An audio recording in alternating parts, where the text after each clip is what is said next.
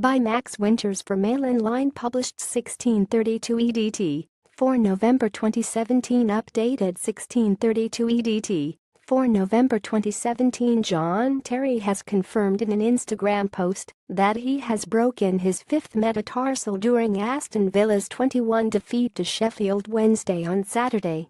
The 36-year-old suffered the injury after just 20 minutes and was soon replaced before limping down the tunnel at Villa Park. Devastated is an understatement to how I'm feeling tonight. After my CT scan I have just had the news that I have broken my fifth metatarsal, Terry wrote. I will be doing everything I can to get back fit as soon as possible.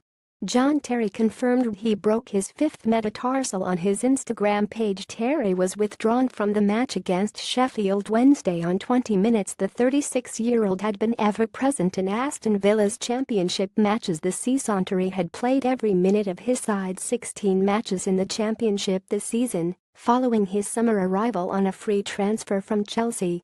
The injury is further bad news for Villa manager Steve Bruce after his side suffered their first home defeat in the league this season. Adam Reach set the visitors on their way with the opening goal after only 19 seconds, while fellow former Middlesbrough man Jordan Rhodes made it two before the break. Chris Samba pulled one back for the hosts in stoppage time, but it proved to be nothing more than a consolation. Read more